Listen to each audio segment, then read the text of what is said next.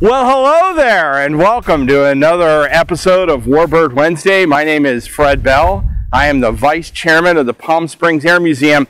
Due to the Josh Gates incident, that's what we're calling it now, of the escalation, we, Greg, has gone out and upped our production value quite a bit. He's now making sure that I am properly togged in wardrobe, and if you'll notice, we're taking the entire pirate theme all the way through, right, Greg? Isn't it good? Yes.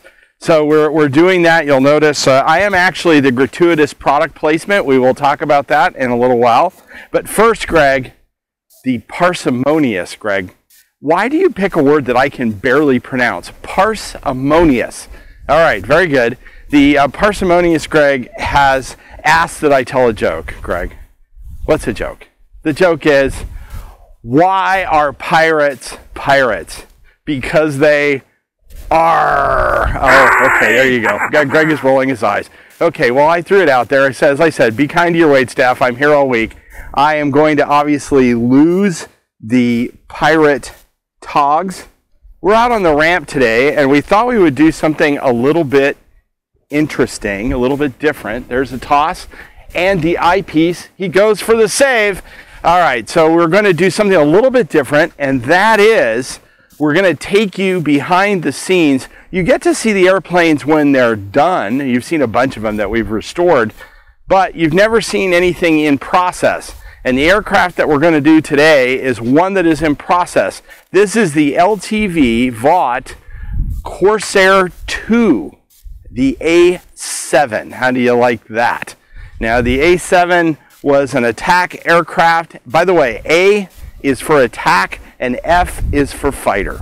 If you're going into Navy airplanes, this particular aircraft was built under a uh, request, a design request by the Navy in the early 60s for an attack airplane. They actually were looking for something that was going to replace the A4 Skyhawk, if you can believe that. I, I was kind of surprised by that.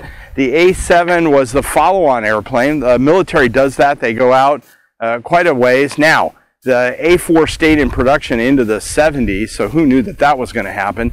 But they uh, went ahead with this design anyways. Now, this particular airplane, I say this all the time, but this airplane is uh, quite the innovator. A couple of innovator innovations that I'm going to cover here, but it um, it came into service. It actually flew in the mid 60s. It came into service with the fleet in the late 60s, and it served up until the 90s, the early 90s. Now the interesting thing about this is that this is a crossover airplane. It not only flew for the U.S. Navy, it also flew for the United States Air Force and I'll get into what everybody used it. But as an attack aircraft, what the Navy was looking for something that had more payload, could carry more bombs, and had more range. And that is where this airplane came in. It could carry about 16,000 pounds of bombs, eh, which meant it could carry about twice the bomb load of an A4, or it could carry the same bomb load twice as far. Think about that, Greg. Isn't that confusing? That's a confusing fact, but what the heck? It is a Fred fun fact. So that was the design. Now this aircraft, this particular aircraft is an A7A. This is the first of the type or the first of the, the, the type of airplane that came in. There were a lot of innovations in this airplane, a lot of variants. This aircraft actually had a long lifespan in the service of other countries. This airplane served out into the Greek Air Force until 2014 when it was finally retired, if you can believe that. This is Sparta. Greg, do you know the Spartans had A7s? Isn't that interesting? Greg is smiling. He enjoyed that. But this is the first of the type. Now, how can you tell this is the first of the type? First of all, this is a dead giveaway. And what is that? That's a cannon. The early versions of this airplanes had two cannons on either side, carried about 250 rounds per cannon. The rest of them, uh, the rest of the variants later went to another uh, very familiar suspect. We're going to talk about a lot of familiar suspects today, but this particular uh, airplane on its armament actually went to a Gatling gun. Greg later went to a 20 millimeter Gatling gun, but in the early versions, it actually just had a, a cannon, a 20 millimeter cannon on either side. Now, there's a thing on this airplane. As we restore these airplanes, you can see they're actually starting to make the skin repairs. A lot of what happens when these airplanes are retired is that they go to AMARG. They go over to Tucson to the airplane boneyard. And there they're either reclaimed. Think about this. It's like the military's pick apart, Greg. You basically go and they take parts off of them. And in this case, if they're in foreign service, they would strip parts off these airplanes to keep the other fleet going. By the way, there are a little over 1,500 of these airplanes made in all variants. And there was also, I'm going to tell you about an interesting effort to extend the life on this airplane towards the end. But this, if it went to the regeneration facility in Tucson, when when do you uh, what what's a dead uh, dead giveaway, Greg? Tell me a dead giveaway on this. Do you know what it is? Greg is looking. It's that right there. You see that cross? That is a dead giveaway. When I go out and look at airplanes, by the way, I never like to see an airplane like this, especially an airplane that is significant. There, as I said, there are only about 200 of this type made. This is the introductory version. But when you see them like this, it makes me kind of sad, Greg. It makes me just a wee bit sad because this airplane had a long lifespan. In this case, it's actually a celebrity. We're going to talk about that a little bit. But uh, it's been kind of picked over and destroyed. And what we have to do here to get it back, this, by the way, the museum owns this airplane and it will go back into our fleet as a static display. It will not fly.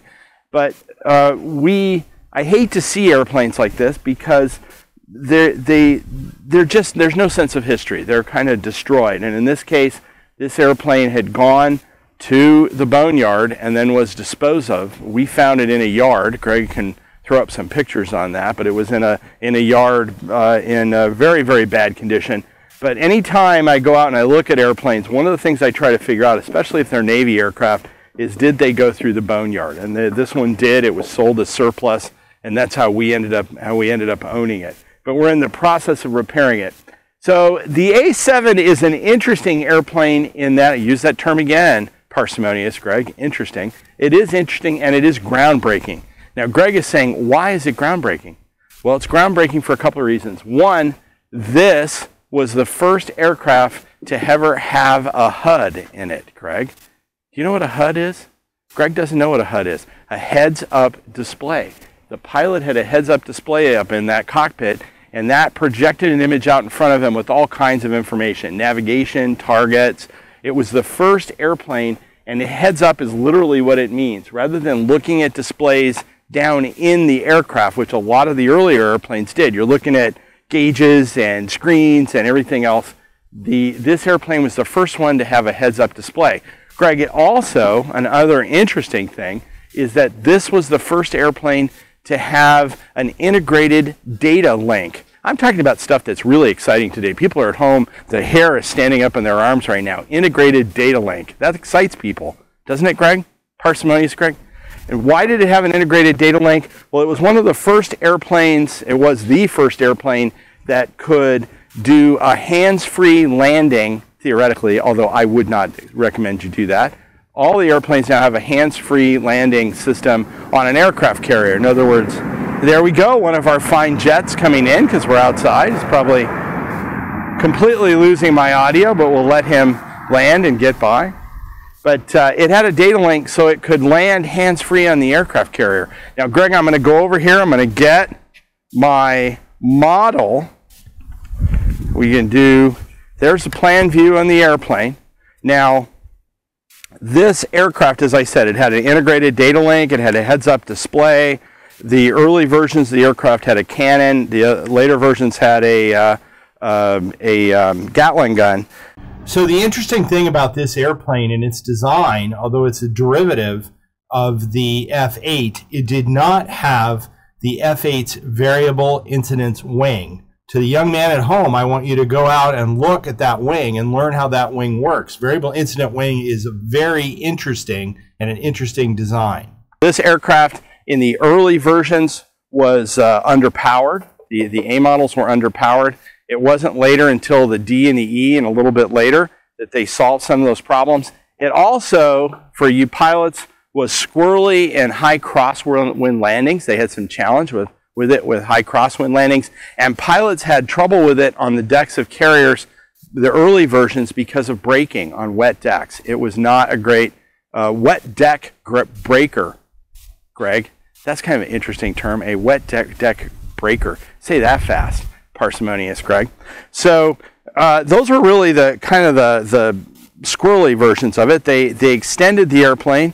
They made it uh, a little bit bigger. They changed it. It went into Air Force service as a strike fighter.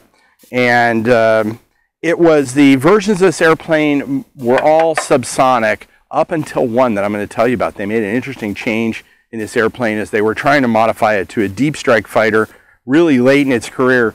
But this aircraft flew top speed. It was subsonic at about 690 miles an hour, give or take. Uh, geometry on the airplane, if you look at it compared to, let's say, the MiG-15 or the MiG-17, very similar. Now, Greg, this airplane had a had a nickname. Do you want to know what it was?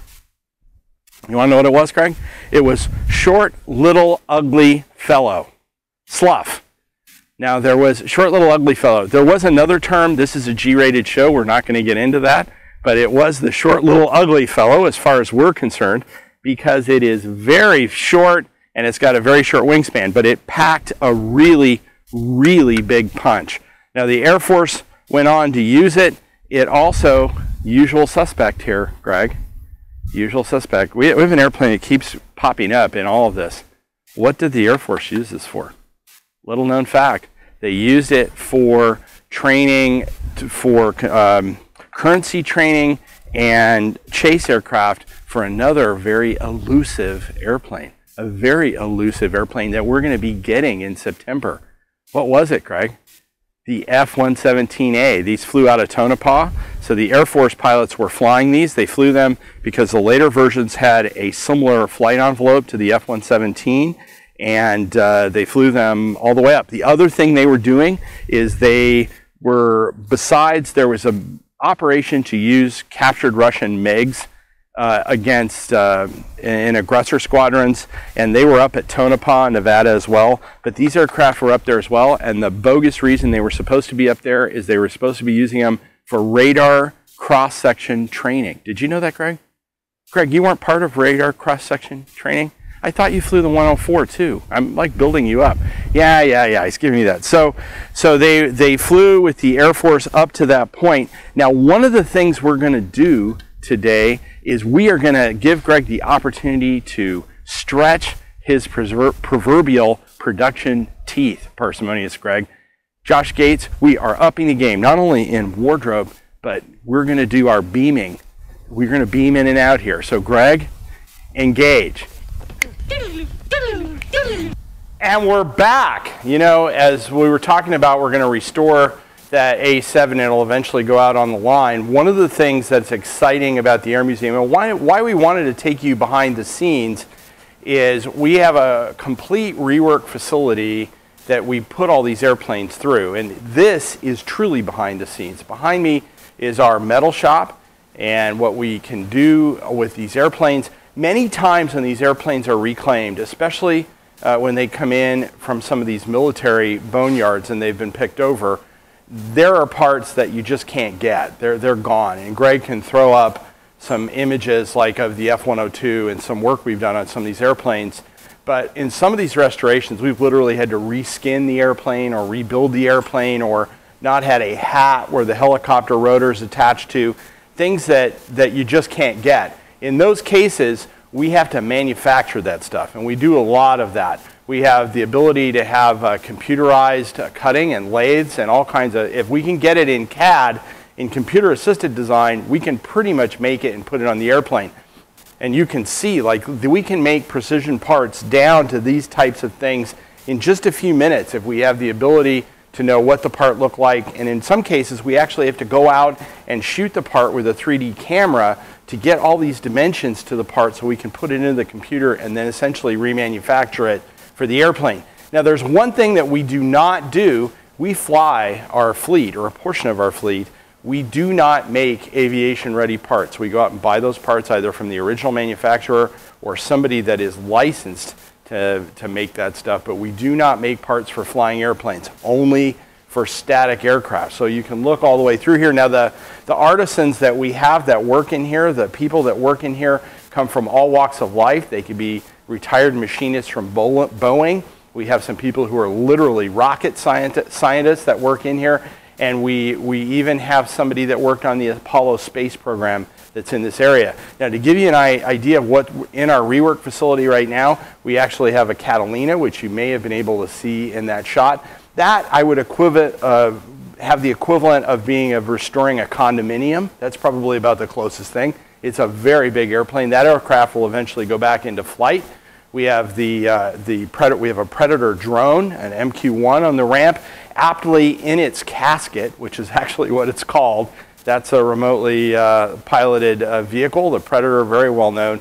Then we have the A7, and then of course we talked about the F-117. So Greg can get a, a shot of all this stuff and do some pickup work on it. Now, one thing for my stage two today as we're filming this, I want to give a shout out to all of those fire crews that are working on that. Right now we've got a Navy helicopter carrier, the uh, Bonhomme Richard, that is actually burning not too far from us down in uh, San Diego uh, Harbor there at the Navy base. God bless you firefighters. Keep working on that ship. Get that fire out. Uh, we wish all the best to the Navy on that. That's a terrible thing anytime you have a fire on board a ship. So to all you Navy guys out there, especially you damage control crews and you firefighters, God bless you.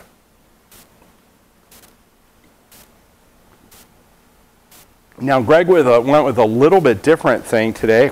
This is Anchor Ginger Root Beer. Anchor Ginger Root Beer is not a sponsor. Did you know that? Parsimonious Greg? They are not a sponsor. They are a soothing beverage for the traveler. Hmm. But they do have the anchor, keeping with our Navy pirate theme today, so Greg chose that. Uh, let's see. Greg, you're continuing to try to, maybe that's your, your angle now, is not to poison me with oddly covered drink, colored drinks, but to just uh, give me so many uh, grams of sugar that I drop into a diabetic coma. This has 170 calories. Uh, is actually not bad. I don't see, you know, I've gone to, since uh, the poisoning incident, I've gone to the expiration date on these things, but I don't see one. But it's actually not bad, Greg. You're on a roll here. Mm. So again, to all you, um, you Navy guys down there, and especially those firefighters, God bless you and, and good luck with that. And with that, why don't we move out of our shop here? Greg can get a couple of other images. We're going to go back to the A7. Greg, engage. And we're back. Greg, another great job on the gratuitous visual effects. So we're back with the A7 after coming out of our shop. Now this airplane had uh, a little bit of an interesting life beyond the F-117. There was actually an effort to give this life after it went out of the Air Force inventory. Did you know that, Greg? Greg? Greg? Got your, we've got the Greg counter. That's probably like 400 Gregs by now. But the um, there was actually two prototypes built of this airplane that the fuselage is extended. They put a bigger, the TF41 engine that they put in the later types in this solved the underpowered issue that I mentioned. They were having compressor stall problems. The TF41 engine in the later models solved all of those, was a very reliable engine, but they actually went back and took two of these airplanes in the late 80s and the early 90s. They extended them, they put a bigger engine in it, and they called it a strike fighter. It was a strike a, uh, A7 and they uh, it could go up to do you know this greg? Mach 1.2 it actually was supersonic. They built two of them one of them is at hill i believe the prototype and the other one is at edwards air force base. If you guys ever want to give those up we'd love to have one down here. But the uh, not going to happen but you know we would we can't we have to ask greg right? If you don't ask you don't get. So um, they were doing this but what happened with this airplane what happened with the prototypes? What was it up against, Greg? The F-16. The F-16, the Air National Guard units wanted that F-16 pretty bad at that time. Remember, we're talking early 90s. And they, although there were a bunch of these sitting around that they could have repurposed and re-engined, they decided not to go with that and the program was parked. But after the, the prototype aircraft on the strike fighter, this airplane kind of died out with the exception of its uh, activity in um, foreign service when it flew for those foreign air forces like I talked about up until 2014. Now, the interesting thing is Greg, this airplane is also a star. Did you know that? And this is going to be our, Greg is going to throw this up, our gratuitous product placement. This aircraft is the subject of a model. This specific airplane in VA 56 colors, the boomerangs, and that they flew off, uh, the colors that she's in flew off the Midway, another familiar subject, in the mid 70s. We have that. It's a Hasegawa kit, and it's actually this specific airplane. So Greg will throw that up. You can go out to the site, you get yourself, if you're a modeler, wouldn't it make your collection to have one of these A7s? And you can actually go out and see the real thing because we're going to put it back into the colors that she was in on that kit. But that also goes to show you about how, uh, as far as preservation, with these later jet airplanes, there's not a lot of rhyme or reason. Unless they're like a one-off airplane, they just don't end up in museums and they end up going in boneyards. This particular airplane, as I said, a little bit of a movie star, still went to the boneyard, still got picked apart, and we were really fortunate to be able to save it. So hopefully in about a year, you're going to be able to see this thing uh, restored and back on the line. She will be a static display airplane. It will not fly. This is not an airplane that we'll bring into the fleet, but you will be able to see it in all its glory. But go out to that website, uh, to our merchandise store, and you can pick it up. Remember, remember, we are getting close to what milestone, Greg? What milestone? A thousand subscribers on our uh, YouTube channel. Really important. We want to get there. If you know somebody send them this link, hit that subscribe button, tell them to go out and subscribe. It will make your day, it will make you happier, you will grow two inches taller and be 10 miles an hour faster. None of that will happen, but you will subscribe to the channel. So is that, is that my cover on false advertising, Greg? So remember, smash that subscribe button. If you see us on Facebook, like us, or on Instagram, uh, some of our other social feeds. And uh, if also, I have, we actually, Greg, two, two product placements today. If you like this Air Pirate shirt, I will turn around. Greg, the parsimonious, did you get that? Or should I turn around and hold a little longer? You're good. Greg says he's good. Uh, you go out to the site and get the shirt as well. And you need this shirt. Remember, when it's 129 degrees out, what you want to be wearing is black. Just wear it like that. In Palm Springs right now, it is just hot. Am I right, Greg?